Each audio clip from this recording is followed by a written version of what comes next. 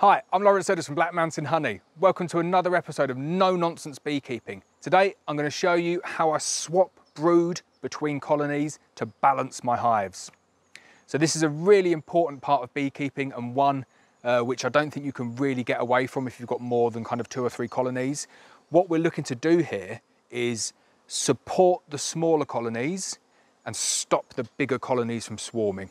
Um, so this is kind of like a, an early, a late spring, early summer technique, but I do it all the way throughout the year to get that support to the younger colonies. There's a few considerations that you need to make when you're doing that, and I'll run through those in this video. But like I say, what you're trying to do here is you're trying to give support to the smaller colonies by giving them additional frames of brood, and you're trying to stop big colonies from swarming by um, by increasing the amount of laying space that they've got. So by giving them foundation, getting them to draw out that foundation. So it's not as clear cut as that. Um, a colony still might swarm um, and it's not as clear cut as that as in a colony might need more than uh, a frame of brood in order to get that boost. But it's a good method for evening out the amount of brood within your colonies.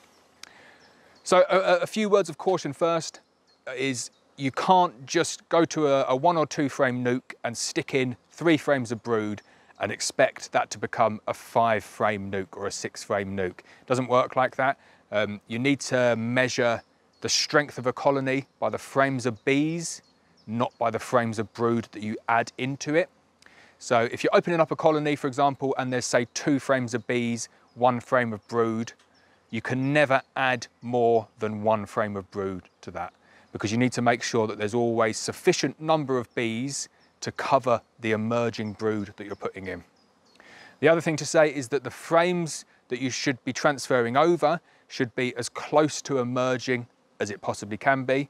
What you don't want to do is add a frame of eggs to a one or two frame nuc because then the bees aren't going to have the capacity to go out and forage the nectar and the pollen and stuff to feed those eggs to get them up to a suitable point. Otherwise, the queen would have just laid those eggs. So you're trying to get them to kind of work too fast for their own good. Um, so you just need to kind of take all of that into, into your consideration and then you can really, really start to balance out these hives and it works well. So for today's video, I'm gonna show you a few examples of that. I'm gonna focus uh, on the nucs that I'm doing at the moment. So where I've got uh, lots of nucs in this apiary, I've got some that are at six frames of bees, maybe four or five frames of brood, and the flows are starting. So I need to take action on those hives or they're gonna swarm. Um, so what's gonna happen is that the honey will come into the nuc, the honey will restrict the queen's laying ability because they're going to fill all of those cells with honey. They're going to sense that there's not enough space and they're going to swarm. So for that colony, I need to take action. And that action will be, I want to reduce the amount, uh, sorry, I want to increase the amount of laying space. So I can either take out a frame of stores if they've got enough stores, or I can take out a frame of brood if they've got enough brood, or I can take out a frame of each. Um, so on a colony like that, I'd be looking to take out one frame of brood, one frame of stores, and give them two frames of foundation. And that will buy me a few weeks, maybe a couple of weeks, um, where, that, where they'll draw out that foundation, the queen will lay it up, and that will suppress the urge for them to swarm. Then I can take that frame of stores, and I can take that frame of brood, and I can go and boost other colonies with it. So I'll take the frame of stores, and I'll give it to colonies that are low on stores. I'll take the frame of brood and I'll give it to colonies that I want to boost up. But obviously taking into account the caveats that I've already mentioned, whereby you don't want to take a one or a two frame nuc and give them three frames of brood. So it's, a, it's slightly strategic and you need to kind of work through the colonies one by one and analyze exactly what their requirements are, whether they need something being taken away or something being given to them. Now, what you don't want to do is you don't want to boost a nuc at this time of year to the detriment of any of your production colonies.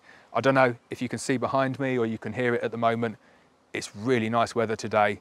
We're kind of uh, middle to end of June and it's beautiful weather. It's really nice temperature. There's strong flows on.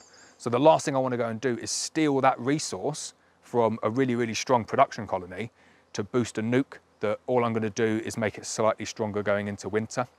Um, I only want to use resources to boost nucs that are surplus to other colonies. So where I've got nucs on six frames, um, I want to take a frame out to suppress swarming. I've got that free brood as a resource to use.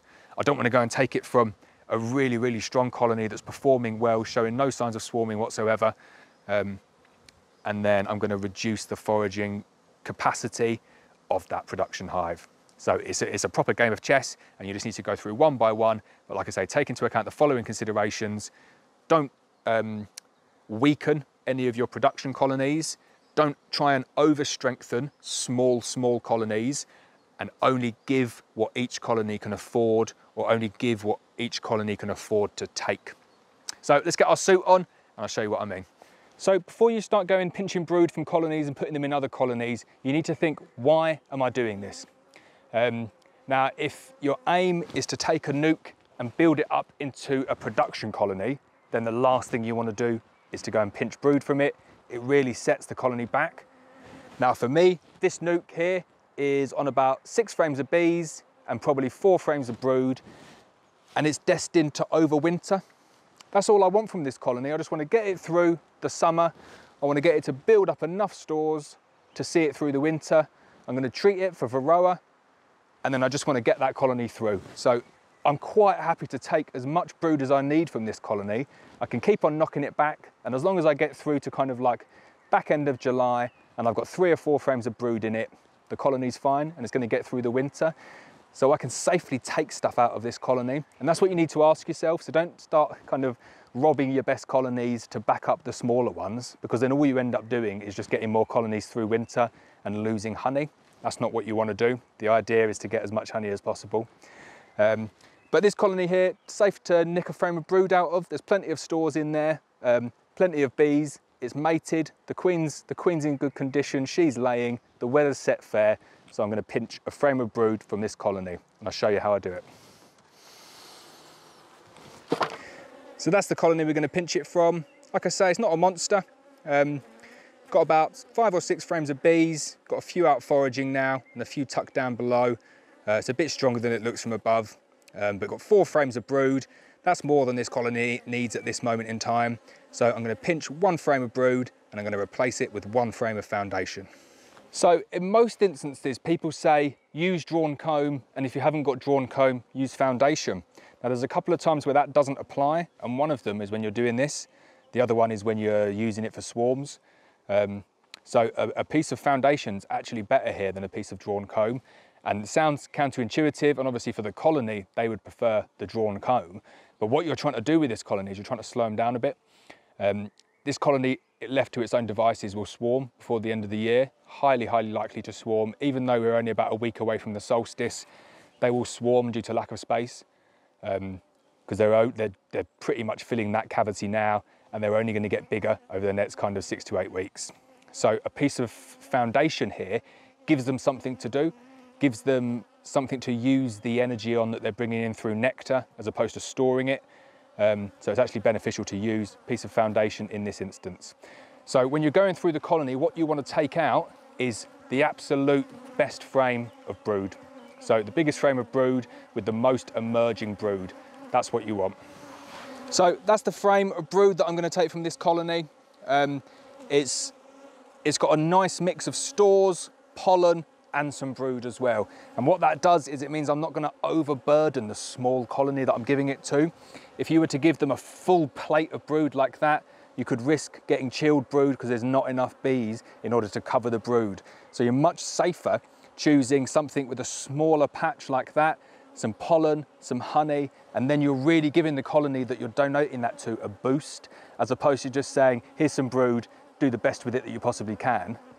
You're being efficient with what you're giving them. Um, so like I say, choose a nice frame. You want as much capped brood as you possibly can get. Get some pollen in there, get some stores in there. That's pretty much ideal to give a boost to a smaller nuc. So then you want to condense everything else in the nuc together. So get the remaining five frames as close as you can. Take your frame of foundation and put it on the edge. You don't want to split any of the brood by putting the foundation in the middle. It's called checkerboarding. I don't like it. I think you should condense the brood nest to the middle, put the foundation on the outer frames. Not to say checkerboarding doesn't work, um, but on a smaller colony like this, you're safer not kind of putting any restrictions in between that brood. So that's the, this colony done now. probably got an extra couple of weeks before this colony swarms. Now I've given it that frame of foundation. So we can close these guys up and we'll go and donate it to a smaller nuc. So this is the nuc I'm going to donate my frame of brood to. Um, and like I said, you need to be really, really careful with the size of the nuc that you're giving this frame of brood to. Ideally, it should have a couple of frames of bees as a minimum. Um, I don't like to do it. If there's only one frame of bees, you need to leave them on the frame that they're on. With two frames of bees, you can slot the brood frame in between and they should cover it and keep it warm. Um, but like I say, if you only have one frame of brood, definitely don't go any higher than one frame of brood because then you'll get chilled brood and it's counter-intuitive to what you're trying to achieve. So this colony here, I've got two frames of bees.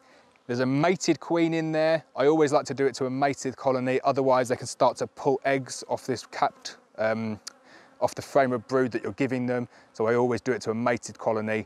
If you've got any with virgins, you can just wait until they're mated and then you can safely add a frame and then they won't make any emergency cells. So I'll show you this colony and give you an idea of the size. So you can see it, small colony, do you know what I mean? If I had to say it, it'd be about a frame and a half of bees, but it's a mated queen. They've got stores, they've got capped brood already, so they really could do with a nice boost just to get them going.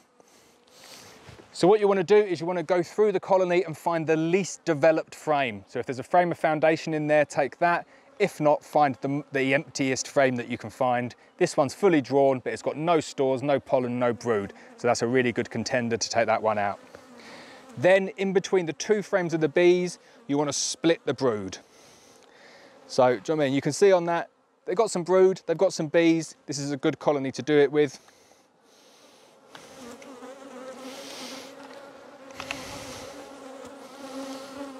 That second frame there, they've got some brood on it as well. Brood on that side.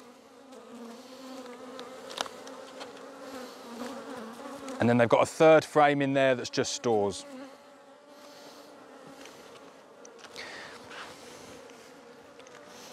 So make sure there's no bees on the frame that you're donating. If there's any bees on it, they may kill the queen.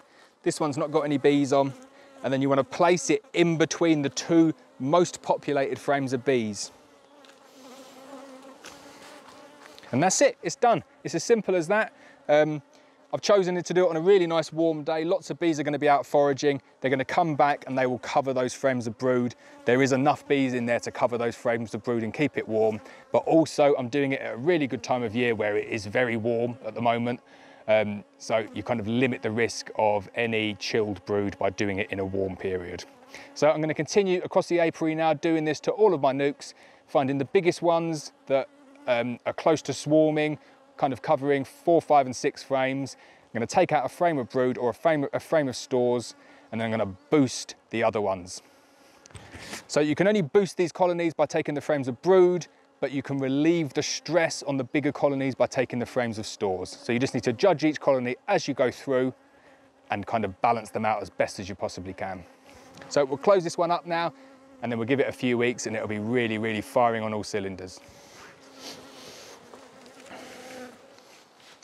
So that's it for today's video. Really important and useful technique, balancing brood within your nucs and within your hives.